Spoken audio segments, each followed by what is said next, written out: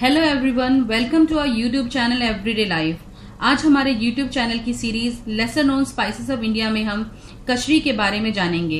ये जो सामने प्लेट में है, ये कचरी ही है ड्राई कचरी। वैसे तो कचरी ना तो स्पाइस है और ना ही कोई हर्ब परंतु यह एक फल और सब्ज़ी के बीच की, खीरे की फैमिली की सब्ज़ी है। यहाँ मैं कचरी को सब्ज़ी इसलिए कह रही हूँ क्योंकि इसे सब्ज़ी की तरह पकाकर भी खाया जाता है। इसका बोटानिकल नेम क्यूकेमस कैलोसिस है और यह खेतों में खुद ब खुद उगाती है। यानी कि उसको उगाने की ज़रूरत नहीं पड़ती। ये ऐसे जैसे खरपतवार या वीड उगते हैं खेतों में, वैसे ही उग जाती है। ये भारत में उत्तर पश्चिम एरिया में, जैसे राजस्थान, हरियाणा, दिल्ली, एनसीआर और उत्तर प्रदेश में बड़ी आसानी से आपको खेतों में दिख जाएगी इस मौसम में।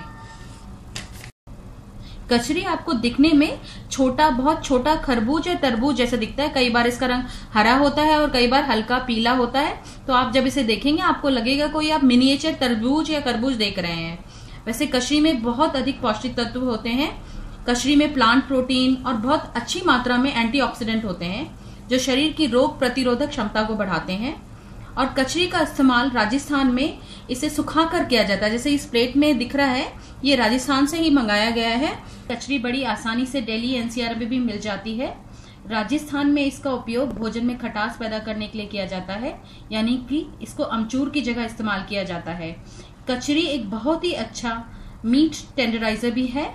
आई होप कचरी के बारे में मेरी इन्फॉर्मेशन आपकी एवरीडे लाइफ में एक नया स्वाद ज़रूर लाएगी।